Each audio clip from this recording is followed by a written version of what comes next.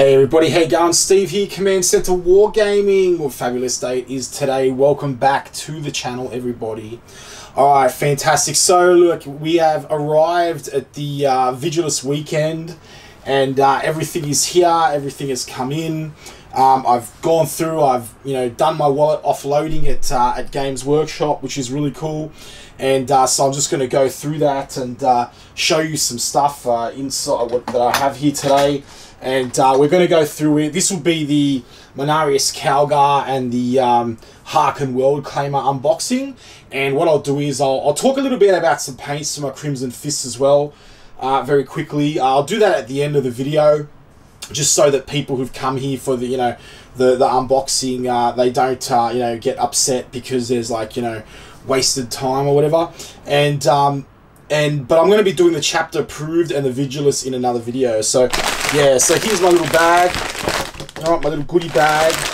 So I got these from Good Games in Sydney, which is pretty cool. 10% off. Um, 10% off, uh, you know, Warhammer or across the board and Games Workshop stuff. So it's really good. Um, I usually I usually buy from the Games Workshop store um, which is just downstairs. Like, I really like the staff there and everything. Um, but, um, I don't know, it's kind of like, you know, uh, 50%, you know, like 10% off. I think I bought all this and I saved like 50 bucks. So I'm kind of just like, yeah, I get the whole brand loyalty thing. Um, but at the same time, it's like, well, you know, $50 in my pocket is a prize I can give out to you guys, you know? And, uh, you know, uh, you know, Games Workshop, you know, you know, can friggin' send us some stuff or sponsors. I'll start worrying about it. Um, but aside from until that happens, it's basically just like yeah, business is business. You know, if I can get it fifty dollars cheaper somewhere else. Um, and buy some extra paints, and that's exactly what I'm going to do. So, all right, cool. So let me just move this out of shot for a second, right? And um, and yeah, so here's the um, here's the Haarken. Alright, here's Mr. Haarken Worldclaimer. Now, disregard the prices, guys. These will be in AUD, so for any of these uh, of those who are watching it and you're like, oh my god, you know, like what's this? It's just yeah.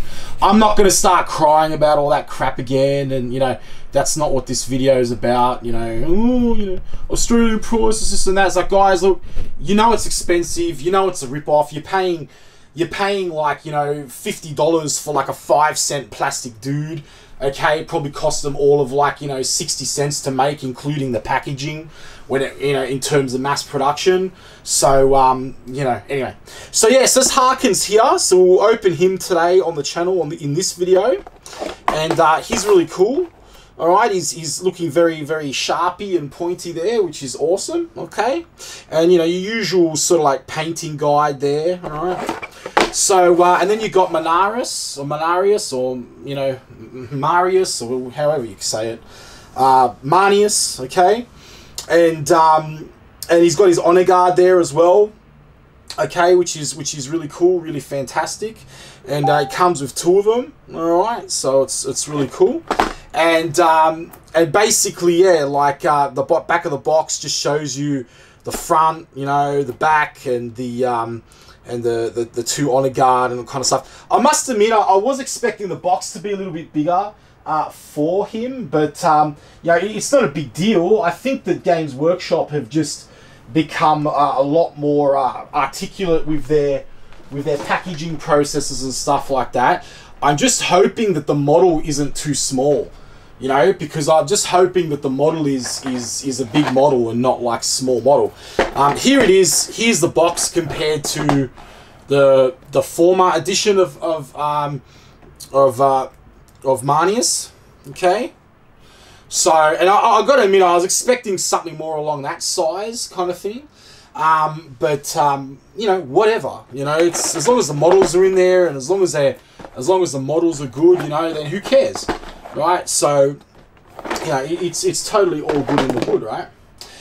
And uh, yeah, so so that's that one, all right. And we'll go we'll go through those in a bit, okay? Um, the next one, okay, we got the chapter approved, right? So finally finally got my copy of that, okay? My my version of that, which is which is really awesome. Okay, so we'll go. We'll be going through that later on on the channel. Okay, so um, not in this video. All right, I'm not going to bother framing it here, guys, because, like I said, it's it's not a video for that, but it's it's just right here. All right, and um, and that'll be covered. Uh, I'll probably, hopefully, I'll do that. Maybe, I think maybe I'll maybe I'll do it tomorrow. I might actually do it tomorrow um, because, uh, yeah, I really want to give that a good run. Same with this one. So it's a Vigilus Defiant book. We're going to be going through that as well. And um, again, we're gonna I'm going to be going through that. Uh, maybe I think this one I'll go through today. I'll do that video today, and then the the uh, Vigilus tomorrow. Uh, see how we go, and then we've got the prize draw tomorrow as well, right? So like I'll probably do that in the morning, but it doesn't really matter um, because you know it's not live. Like you know who cares? So um, you know, before, you know, it was like, oh, 11 o'clock because we were streaming and stuff. But now it's just like, yeah, whatever. So, um, so anyway, okay, cool. So, and it's just some paints I picked up. So I've, I've decided to, um, to do my first Imperial Fist box, uh, Crimson Fist. And, uh, I'm, I'm to be making like another video for this, uh, as well. And these are just some of the paints. Like some of the old paints I already had. Uh, but I, am quite scientific when it comes to my paints uh, and you know sort of like what to do in that respect and uh, so I just got a few of them here which are which which I sort of go through and all that kind of stuff um, you know at a, at a later stage uh, you know I was, I was, thinking I was thinking maybe I'll do in this video but you know what I, I think I think that this is this will be it's for its own separate video actually I'll have a have a talk about that. And uh, look, I'm probably not going to run a tutorial for these guys on the channel because um, I'm not going to be doing them up super crazy. Um, you know, and yeah, I just want to get them done because the way it is, guys, I'm just making so many videos that I'm, I'm just not getting time to paint anything.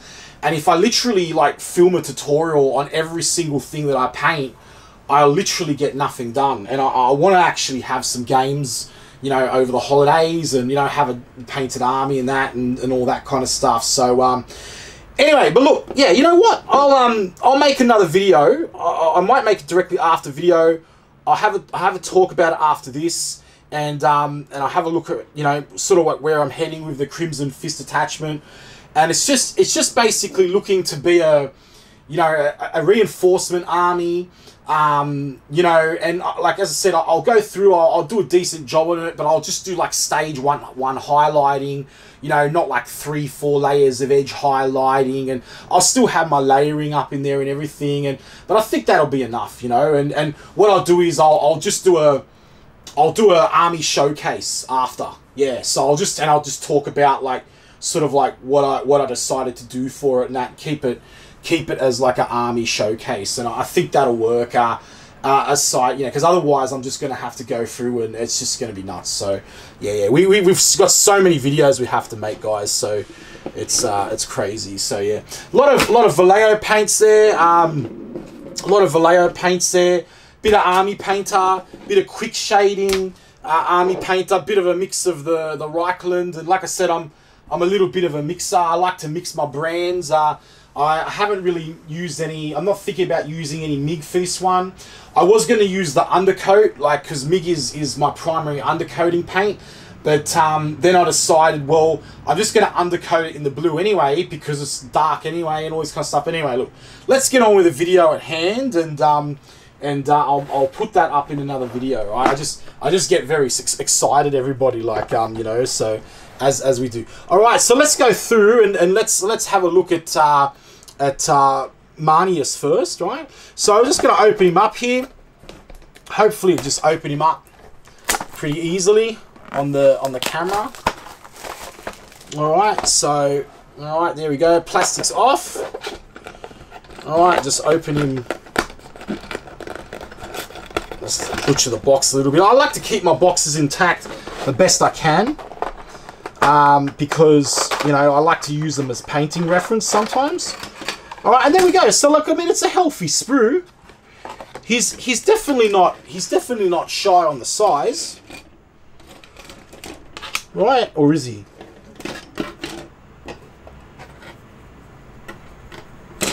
Okay, so it looks like he's in bits. He's he essentially just looks like he's a he's kind of like a mini aggressor, which is kind of like what he is, I suppose. Um, but uh, yeah, so I'll just I'll just get all this into shot for you, all right? So you can see that. Okay, and just zoom in a little bit here because we'll, we'll go through like each each sprue at a time, I think. So let's just let's just get all that over here. Okay, so these are the these are the bases. All right, so it looks like um, uh, Marneus is on his own size base. That's an interesting base there for that one. Interesting size, right? So uh, and then you got transfer sheet, right? So Ultramarines transfer sheet probably pretty stock standard as to what it usually is. Like not a not a big deal there, nothing crazy. I say that's for the honor guard, and that's for the that's for the um, for Marneus himself, you know. So yeah, check out uh, some of my other videos uh, for rules on him, and uh, I'll cover the points in chapter approved. But there's already there's already a video on rules for the guy. Um, we've covered it quite extensively. I've also put together a little bit of a, a tactical video and theory on on him as well which is uh, which is pretty pretty cool. All right, so if it's your thing there, you know you can you can check that out, and um, it's pretty pretty fantastic. Okay, so I'm uh, just trying to get you as as much as uh, much view as we can here. All right, there you go. So that's the first sprue, right? And um, you can see here you've got the ammo belt, you've got the You've got that's him, so that's that must be his actual size. So that's pretty decent. And then you've got like all these different parts. You know, you've got the you know his his body, his legs, his greaves, all that kind of stuff. You've got like these tassels here. You know where he's in there and that, and so, and then here we go. So these look like more of the honor guard sort of guys, right?